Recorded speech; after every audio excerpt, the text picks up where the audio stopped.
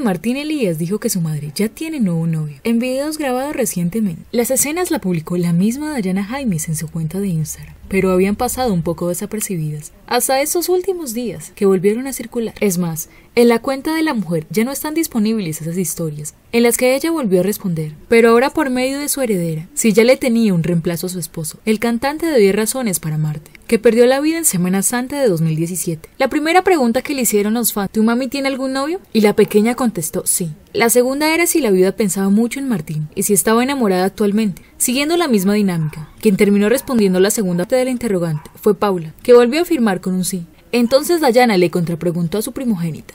¿Tú cómo sabes? Y ella sencillamente le expresó. Porque sí, la viuda siguió insistiendo y para dejar el tema cerrado y claro, terminó el cuestionario sobre su vida amorosa, aunque las grabaciones ya no están en la cuenta de la segunda esposa de Martín Elías. Se pueden encontrar en perfiles de Instagram, que rescataron esas y otras historias de ella, del mismo día. Por otra parte, tanto Dayana Jaimes como su hija Paula estaban muy contentas en una celebración, en donde aparece un hombre que al parecer es la nueva pareja de Dayana Jaimes. En unas imágenes se puede observar al hombre que está compartiendo con Dayana Jaimes y su pequeña niña. Está más que claro que Dayana se ha dado una nueva oportunidad en el amor, aunque algunos parecen no gustarles mucho. Este es el ejemplo de Patricia Costa, la suegra de Dayana Jaimes. Por esos días se le ha visto disgustada por el hecho de que Dayana ya tiene un nuevo amor. Tal vez es hora de que ella supere todo esto y se dé cuenta de que todos podemos ser felices y darnos una segunda oportunidad. Después de esto, Dayana Jaimes publicó un sentido mensaje para recordar al cantante de Vallenato al lado de un carrusel de los dos y al lado sus hijos. El 14 de abril de 2017 partió de este mundo el artista, razón por la que su mona linda le dedicó una publicación en Instagram para recordar que su partida no fue en vano y que él dejó una huella imborrable en nuestros corazones, con fotografías de Martín Elías posando, cantando, riendo al lado de sus herederos, Martín Elías Jr. y Paula, y otras más de la pareja en un aeropuerto. Dayana quiso también destacar el legado de amor que dejó el hijo de Diomedes Díaz, a quienes compartieron con él. Las palabras de Dayana suenan más serenas y marcadas por las memorias de los buenos recuerdos. Hoy me acompaña los momentos llenos de risas y felicidad,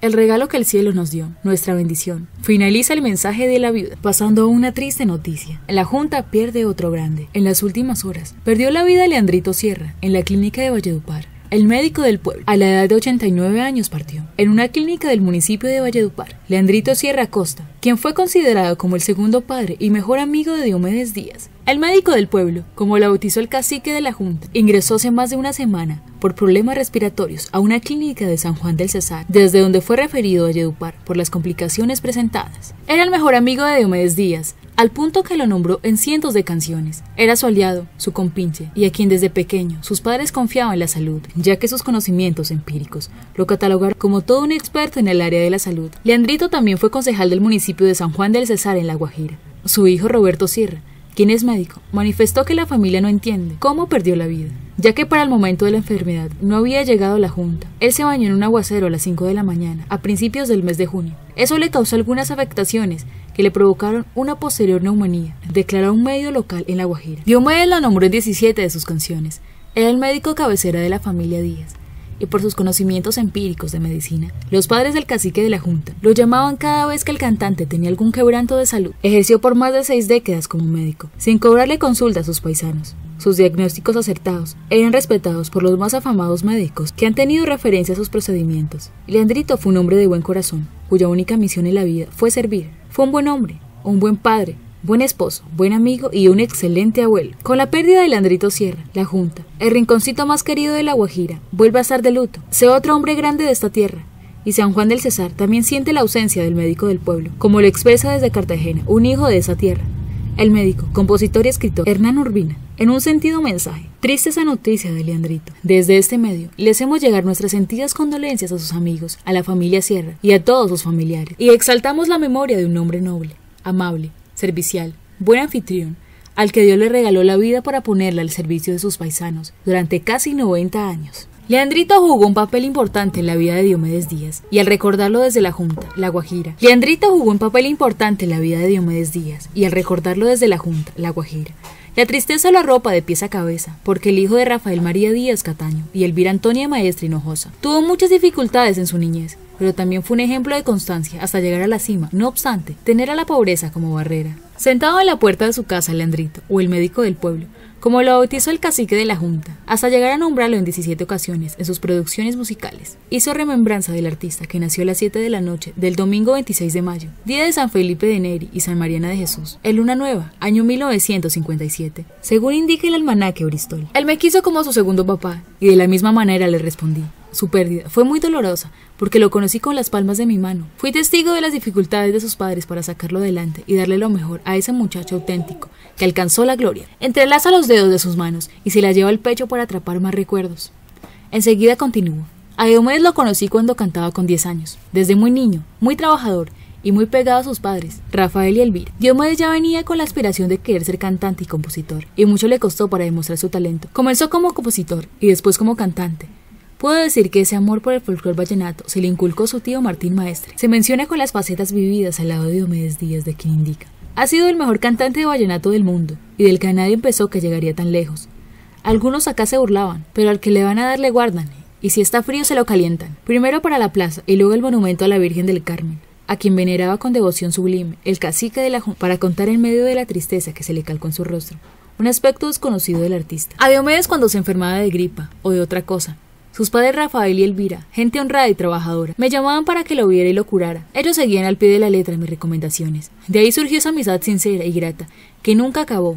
Solo su partida al cielo nos separó. Leandrito que envió las primeras luces de la Junta, La Guajira, el 17 de enero de 1931 el séptimo de los doce hijos del hogar conformado por Leandrito Sierra Castaño y Felicia Costa Martínez, y quien ha ejercido por más de seis décadas como médico empírico sin cobrarle un peso a nadie. En un momento del diálogo agachó su cabeza y lloró. Esas lágrimas son por Diomedes, ese muchacho que, como dice la canción, quise tanto, que lo vi crecer en medio de tantas dificultades, en un pequeño pueblo. Su recuerdo es imborrable. Se quedó callado. Era preciso respetar su silencio, porque llegaba precisa la frase. Los hombres buenos cuando se van al cielo, nos miran todos los días. Después expresa un nuevo hecho en la vida del joven Diomedes Díaz. Cuando comenzó a desplazarse a Valledupar para estudiar e iniciar su carrera musical, siempre contó con mi apoyo. Llegaba a mi casa, que era su casa, y me pedía el pasaje o me lo mandaba con mi hermano Quien Sierra, quien tenía un carro mixto, de carga y pasajeros. El apóstol de la salud en el sur de la Guajira, quien se desplazaba para salvar vidas en estrechas carreteras. Cuenta el suceso que le alegró el alma cuando Diomedes lo sorprendió con una inesperada visita. Se había presentado en un baile en el pueblo de Fonseca y de regreso entró a la madrugada de la junta. Me tocaron la puerta y yo pensaba que era una urgencia, porque a cualquier hora me llegaban enfermos. Cuando abrí, era el propio Diomedes, quien me abrazó, lloró conmigo y me recordó que yo era su segundo papá amaneció conmigo tomando y hablando de muchas cosas. Esa cena de ayer lo volvió a emocionar, pero esta vez con lágrimas nuevas, que al fin y al cabo son las mismas, pero con la marca del cariño eterno en medio de ese paisaje acogedor, rodeado de montañas, tunas, magüeyes y árboles frondosos. Cuando no se esperaba, tocó el tema de los que nunca dejaron de criticar a Diomedes Díaz, que levante la mano a la persona que no haya cometido ni medio error en la vida, para llevarlo en hombros desde la Junta a Bogotá y darle la medalla del más correcto del mundo. Enseguida él mismo se respondió, ese premio se lo llevó únicamente Jesucristo. La tarde del día miércoles primero de diciembre de 1993, en la Junta, La Guajira, exactamente en el Colegio Nacionalizado Hugo Manuel Cautore, se llevó a cabo la entrega de la promoción de 34 bachilleres, pero también la exaltación de dos bachilleres honoris causa. Ole, yo a vos te mandé una tarea, ¿ya la hiciste? Se trataba de Diomedes Díaz Maestre y Leandro Sierra Costa. Llegaron vestidos de saco y corbata a recibir ese diploma. De inmediato se volvieron a recordar aquellos lejanos versos de Diomedes. Me inclinaba cuando fue un alumno siempre ser un buen profesional. Y como no tuve para estudiar, fueron imposibles mis estudios. El rector Denis Escribas Bonilla destacó los nuevos bachilleres, pero hizo énfasis en la vida y obra del cacique de la Junta y el médico del pueblo, dos valores que por su talento y dedicación merecían esa honorable distinción. Diomedes tomó la palabra manifestando todo lo que en ese momento sentía su corazón. Nunca pensé llegar a ser bachiller, mamá, papá, ya soy bachiller. Enseguida, Leandrito también habló, este reconocimiento es la mejor medicina para el corazón. En la vida hay que ser un luchador para llegar a esta instancia. Llegó el abrazo y se selló nuevamente ese cariño, afecto, familiaridad entre dos hombres que supieron que en la vida hay cosas del alma que valen mucho más que el dinero. Yo sufrí mucho por esa separación.